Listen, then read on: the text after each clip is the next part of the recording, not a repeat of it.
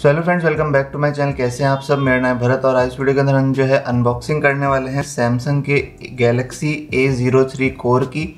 तो ये जो मॉडल है, ये आ चुका है मेरे पास और अच्छा खासा दिखने में जो है ये फ़ोन है, बड़ा सारा फ़ोन है। और की स्पेसिफिकेशंस की अगर बात करें तो आपको जो है इन्फिनिटी वी डिस्प्ले यहाँ पर जो है देखने को मिल जाती है। इसके अलावा यहाँ पर एच डी प्लस डिस्प्ले मिलती है और 5000 की बैटरी मिलती है 5000 हज़ार की। जो है बैटरी यहाँ पर देखने को मिल जाती है। तो चलिए जल्दी से इसको अनबॉक्स करते हैं और देखते हैं और क्या क्या की स्पेसिफिकेशंस आपको जो है मिलते हैं इस फ़ोन के साथ। प्राइसिंग की अगर बात करें तो ये जो है दो जी बी बत्तीस जी बी वाला वेरियंट है और इसकी प्राइस है लगभग आठ हज़ार रुपये तो अगर आप परचेज़ करना चाहते हैं तो लिंक जो है मैं डिस्क्रिप्शन बॉक्स में डाल दूँगा, वहाँ से जाकर के आप परचेज़ कर सकते हो। So let start the video सबसे पहले जो है यहाँ पर आपको फ़ोन मिल जाता है। और काफ़ी अच्छी खासी बड़े साइज़ का आपको जो यहाँ पर फ़ोन मिल जाता है, इसको रख देते हैं साइड में। इसके अलावा यहाँ पर जो है आपको एक ट्रैवल चार्जर मिलता है और बड़ा सारा ट्रैवल चार्जर है। बात करें अगर एम्पियर की तो यहाँ पर लगभग 7.5 एम्पियर का जो है चार्जर मिलता है। तो नॉर्मल चार्जर है, बहुत ज़्यादा फास्ट आपको जो है यहाँ पर चार्जर देखने को नहीं मिलता है, लेकिन ओरिजिनल सैमसंग का जो है चार्जर यहाँ पर मिल जाता है। इसके अलावा यहाँ पर जो आपको नॉर्मल माइक्रो एस की जो है केबल मिलती है बहुत ज़्यादा लंबी केबल आपको नहीं मिल रही है यहाँ पर। एक मीटर के लगभग जो है आपको केबल यहाँ पर मिलने वाली है।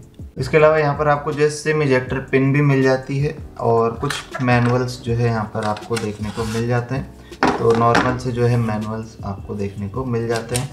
तो इन सबको रखते हैं साइड में और देखते हैं फ़ोन को। सो फ्रेंड्स कुछ इस तरह का जो है फ़ोन यहाँ पर दिखाई देता है। पीछे की तरफ़ जो आपको बिल्कुल मैट फिनिश यहाँ पर देखने को मिलती है। टेक्सचर दिया हुआ है। तो आपको जो है स्क्रैचेस का कोई भी खतरा यहाँ पर देखने को नहीं मिलने वाला है, कोई ग्लास बैग नहीं है। तो प्लास्टिक बॉडी है पूरी तरह से तो लेकिन अच्छी जो है फिनिशिंग दी हुई है। सैमसंग ने काफ़ी अच्छा काम किया है। सिंगल कैमरा पीछे की तरफ़ जो है 8 मेगापिक्सल का आपको जो है देखने को मिलेगा।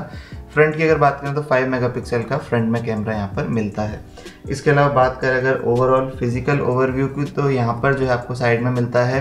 पावर का बटन ऊपर की तरफ़ वॉल्यूम के बटन मिल जाते हैं। यहाँ पर कोई नॉइज़ कैंसिलेशन का माइक नहीं दिया हुआ है। लेफ़्ट साइड में सिम की ट्रे मिलती है और नीचे की तरफ़ अगर बात करें तो माइक्रो एस वाली पोर्ट है स्पीकर आउटलेट है और यहाँ पर हेडफोन लगाने के लिए जैक दिया हुआ है और नीचे की तरफ़ जो है नॉइस कैंसिलेशन का माइक भी दिया हुआ है। तो ये सारी चीज़ें आपको मिलती है। तो चलिए इसको स्टार्ट कर लेते हैं और देखते हैं कैसा जो है ये फ़ोन है। वेट की अगर बात करें तो लगभग 200 या 205 ग्राम्स का जो है इसका वेट है। 5000 थाउज़ेंड की बैटरी है तो उस हिसाब से फ़ोन थोड़ा सा हैवी आपको मिलने वाला है। सो फ्रेंड्स फ़र्स्ट बूट हो चुका है कुछ इस तरह का जो आपको लुक देखने को मिलता है और काफ़ी ज़्यादा अच्छी जो है डिस्प्ले क्वालिटी बहुत बढ़िया लग रही है यहाँ पर। प्राइस के हिसाब से वैसे एचडी प्लस डिस्प्ले दी गई है, लेकिन ऐसा फील नहीं हो रहा है। बिल्कुल ऐसी क्वालिटी जो है इसकी फुल एचडी वाली लग रही है। और यहाँ पर अगर बात करें ऐप्स की तो कोई भी ज़्यादा ऐप्स यहाँ पर फालतू की नहीं दी गई है। ज़्यादातर या तो सैमसंग की ऐप्स है या फिर गूगल की ऐप्स आपको मिलती है। सिर्फ़ एक स्पॉटीफाई यहाँ पर आपको देखने को मिल रहा है। इसके अलावा ज़्यादातर गूगल की ही ऐप्स आपको जो है देखने को मिलने वाली है। तो कोई भी फालतू ऐप्स नहीं है। तो चलते हैं एक बार सेटिंग्स के अंदर और देख लेते हैं हमको क्या क्या जो है देखने को मिलता है। कितनी स्पेस और स्टोरेज यहाँ पर देखने को मिल जाती है। तो अगर अबाउट फ़ोन में चल के देखें तो यहाँ पर सब कुछ आपको डिटेल्स दे रखी है। एंड्रॉयड का वर्जन जो आपको एंड्रॉयड 11 यहाँ पर आउट ऑफ़ द बॉक्स मिलने वाला है। इसमें नवंबर का जो है सिक्योरिटी पैच दिया हुआ है 2021 का, उसके बाद अपडेट नहीं है। अभी मैंने अपडेट नहीं किया हुआ है फ़ोन को। यहाँ पर आपको जो है मॉडल नंबर वगैरह सब चीज़ दी हुई है। तो एंड्रॉयड का जो 11 वर्जन यहाँ पर आपको जो है देखने को मिल जाता है। सो so फ्रेंड्स बात करें अगर स्टोरेज की तो आउट ऑफ़ द बॉक्स आपको बत्तीस जी में से आठ पॉइंट सात जी बी जो है लगभग स्टोरेज फुल मिलेगा, बाकी का खाली मिलेगा तो लगभग बाईस तेईस जी बी आपको जो है खाली मिल जाएगा यहाँ पर।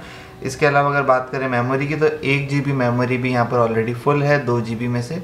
तो मेमोरी हो सकता है रैम यानी कि जो है थोड़ा आपको कम फील हो लेकिन बाकी चीज़ों में, यानी बाकी डिपार्टमेंट्स में जो आपको कमी फील नहीं होगी, यानी कि मेमोरी में अगर आप नॉर्मल टास्क वगैरह करते हैं व्हाट्सएप चलाते हैं कॉलिंग करते हैं, उस पर्पज़ के लिए मुझे लगता है ये फ़ोन काफ़ी ज़्यादा अच्छा रहने वाला है। इसके अलावा यहाँ पर जो आपको सैमसंग का ही OS देखने को मिलता है तो वो उसकी जो क्वालिटी है बहुत ही अच्छी है फ्लूडिटी बहुत अच्छी है, बिल्कुल भी कोई ऐसा हैंगिंग का जो है इशू फील नहीं हो रहा है। फटाफट से जो है फ़ोन जो है अपना रेस्पॉन्स दे रहा है। तो इस मामले में मुझे अच्छा लगा। फ़ोन का जो ओएस है वो काफ़ी अच्छा है, काफ़ी जो है पॉलिश्ड किया हुआ है और कुछ भी ऐसा जो है हैंगिंग वाला इशू यहाँ पर देखने को नहीं मिल रहा। है तो प्राइस के हिसाब से जो अच्छा काम किया हुआ है सैमसंग ने। सो कैमरा क्वालिटी की बात करें तो यहाँ पर आपको डिसेंट कैमरा क्वालिटी मिल जाती है। यहाँ पर आप देख सकते हैं डिटेल्स जो है अच्छी कैप्चर की है जूम करने पे ज़्यादा फट नहीं रही है। तो प्राइस के हिसाब से सिर्फ़ आठ मेगा का कैमरा है, लेकिन जो क्वालिटी है वो आपको अच्छी खासी जो है देखने को मिल जाती है। और डे लाइट है, यानी कि अगर लाइट अच्छी आ रही है तो आपको जो है डिटेल्स काफ़ी ज़्यादा यहाँ पर जो है देखने को मिल जाएगी। तो यहाँ पर आप इजीली जो है अगर आप अपना या स्टूडेंट हैं या फिर कोई भी ऑफ़िस वर्क करते हैं तो उस पर्पज़ के लिए आप इस फ़ोन को परचेज़ कर सकते हैं। वहाँ पर आपको जो है कोई भी कमी जो है देखने को नहीं मिलेगी। सो so फ्रेंड्स अगर फाइनल वर्डिक्ट की बात करें तो अगर आपका बजट जो है आठ हज़ार रुपये है तो आप इस फ़ोन को जो है परचेज़ कर सकते हो।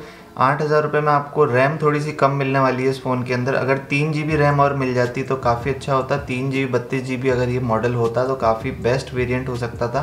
प्राइस के अकॉर्डिंग क्योंकि आपको एक सैमसंग का जो है ब्रांड मिल रहा है और वन ईयर वारंटी मिल रही है साथ में। और बड़ी डिस्प्ले मिल जाती है 6.5 इंच की एच प्लस डिस्प्ले मिल रही है तो वो सारे फीचर्स अच्छे हैं।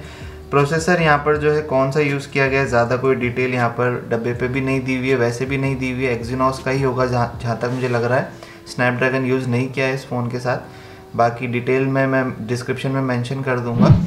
इसके अलावा फ़ोन ओवरऑल मुझे अच्छा लगा है और बिल्ड क्वालिटी बहुत सॉलिड है इस फ़ोन की। तो आठ हज़ार रुपये में जो है आपको एक बहुत ही अच्छा और प्रीमियम फ़ोन यहाँ पर मिल रहा है।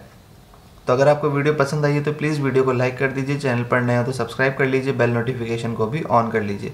कोई भी क्वेश्चन या कमेंट है तो नीचे कमेंट बॉक्स में कमेंट भी कर सकते हैं। इस वीडियो में इतना ही था फ्रेंड्स, मिलते हैं अगले वीडियो में, तब तक के लिए बाय